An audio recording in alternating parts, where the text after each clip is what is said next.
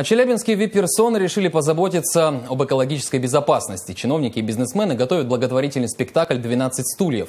Деньги от продажи билетов потратят на то, чтобы сделать воздух чище. А как именно и кто сыграет в постановке, узнала Юлия Савосина.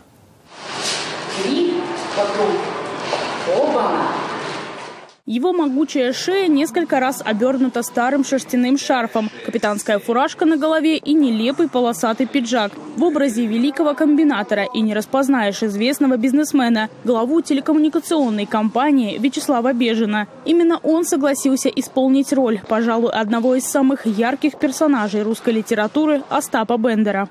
Смотрел несколько сотен раз этот фильм. Вот, в, любом, в разном исполнении. Мне нравятся оба актера, которые это делали.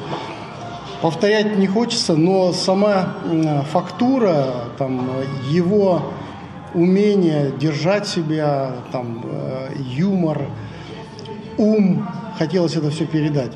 В Челябинске готовят постановку по романа Ильфа и Петрова «12 стульев». На сцену выйдут не профессиональные актеры, а бизнесмены, чиновники, вип-персоны города. Танец готовит даже министр культуры Алексей Бетехтин. Сейчас артисты оттачивают движения и учат крылатые фразы. Когда начинали этот проект, не рассчитывали, что он станет таким масштабным.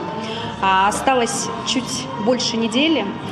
А в нашем проекте а, задействовано более 100 человек. Мы понимаем, что, наверное, это не предел, и, наверное, будут еще привлекаться коллективы, которые а, встроятся в наши уже даже не стройные ряды а, организаторов, помощников. Постановка необычна не только подбором актеров. Спектакль благотворительный. Все деньги от продажи билетов пойдут на озеленение города. В Челябинске появится несколько новых скверов с озвучным названием «Зеленый театр». Этот проект очень важен для города, для нас. Мы же тоже в этом городе живем. Нам всем хочется дышать чистым, э, свежим воздухом. Вот поэтому мы считаем, что это важно. И спектакль «12 стульев», он э, предполагает много танцев, очень э, разноплановых.